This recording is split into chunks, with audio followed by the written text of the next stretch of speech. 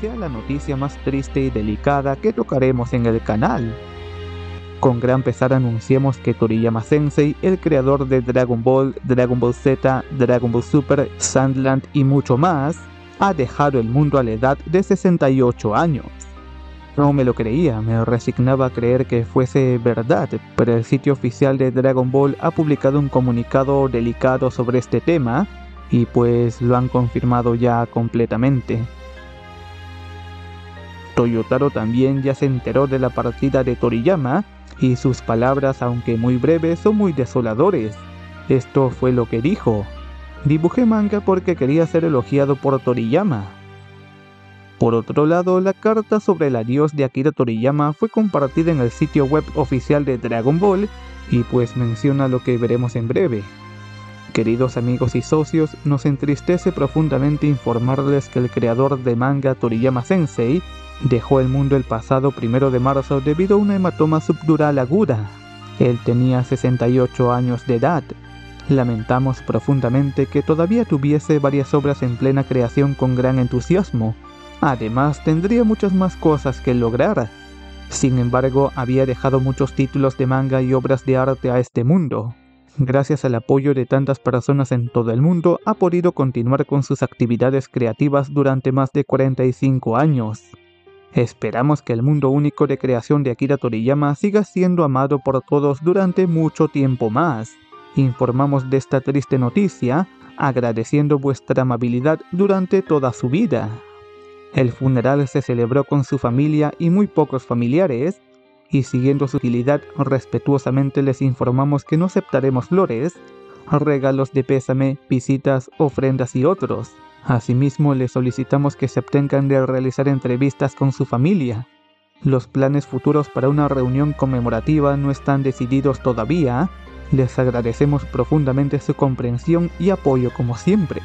Nuestros pensamientos están con la familia y amigos de Akira Toriyama durante este momento difícil. Con ello podemos destacar que el adiós de Toriyama fue a inicios de este mes, algo impensable e inimaginado la verdad. Hace tan solo unos días se había anunciado su nueva serie animada en Disney Plus de Sandland, donde el mangaka hasta había hecho una última ilustración presentando ahí a un nuevo ángel llamado Muniel, un nuevo ángel universal para el universo de Sandland, pero jamás hubiese imaginado pues que este sería su último dibujo. Akira Toriyama nació en Nagoya, Aichi, Japón, en 1955. Él presentó Dragon Ball al mundo por primera vez en 1984. Toriyama ha seguido trabajando en la franquicia hasta el día de hoy, trabajando en el manga junto con la reciente película Dragon Ball Super Super Hero, dejándonos también el proyecto pendiente de Dragon Ball Daima, y casualmente también tuvo mucha participación en Sandland, la nueva serie animada que está pronto a estrenarse en Disney Plus.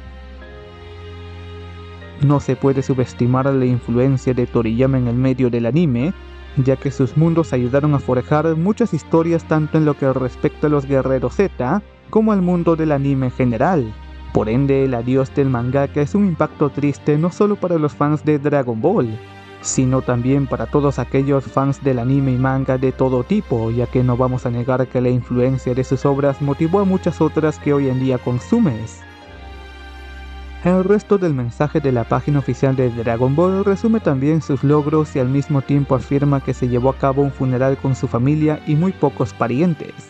La cuenta oficial de Dragon Ball solicita que los fans no soliciten entrevistas a la familia del mangaka, que tampoco lo visiten ni envíen artículos como flores o regalos de condolencia. Asimismo, la cuenta oficial también lamenta que Toriyama haya dejado varias obras en medio de sus respectivas creaciones, sobre todo dado su entusiasmo que siempre tuvo.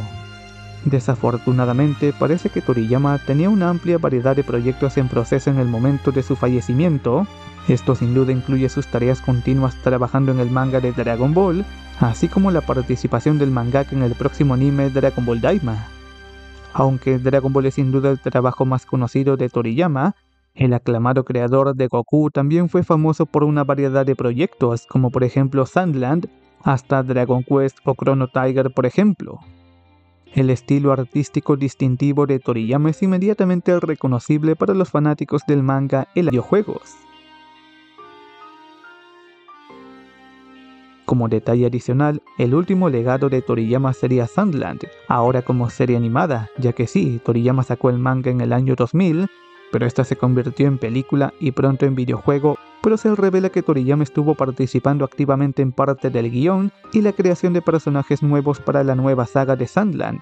Esto como el nuevo Ángel Muniel, cuyo diseño se parece bastante al de los ángeles universales como Whis.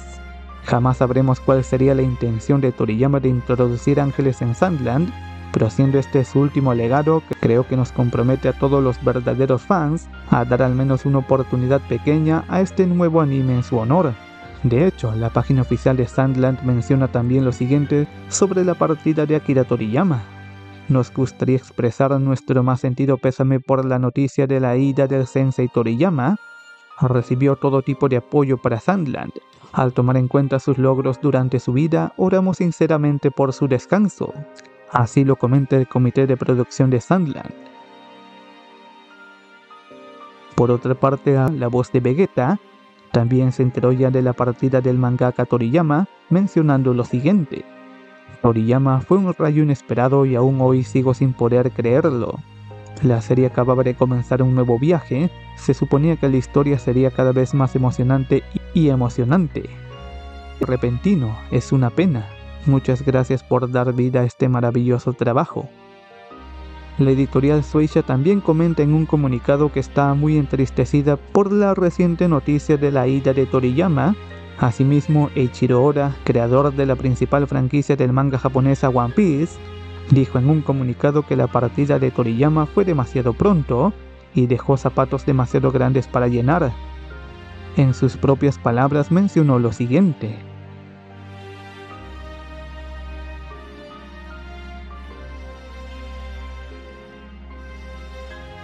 Naruto Masashi Kishimoto también dijo que leyó las historias de Toriyama todas las semanas desde la escuela primaria hasta la universidad y que los personajes lo inspiraron tanto para convertirse también en un artista de manga.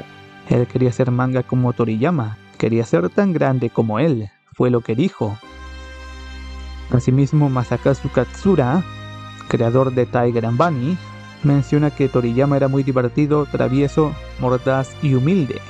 Comenta que extraña sus largas llamadas telefónicas en las que se pasaban hablando de tonterías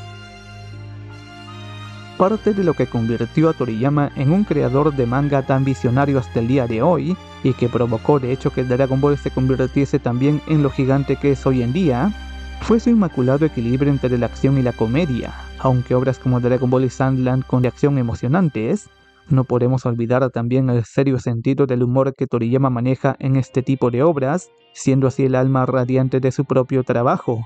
Es en parte este humor lo que hizo que su manga fuese tan visionario como tal, el trabajo de Akira Toriyama en Dragon Ball lo hizo increíblemente influyente también. Clásicos como One Piece o Naruto muestran una influencia muy obvia de Dragon Ball contra picas y acción dinámica.